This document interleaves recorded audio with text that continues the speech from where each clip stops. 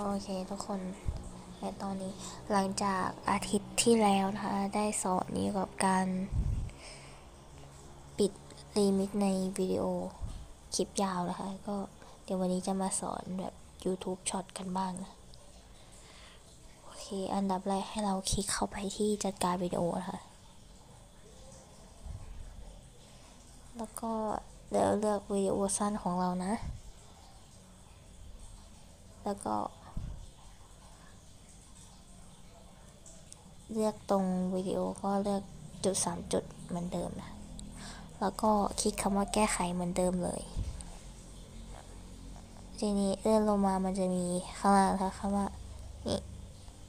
มันจะมีสองแบบนะคะ โดยปกติแล้วถ้าเป็นคลิปยาวก็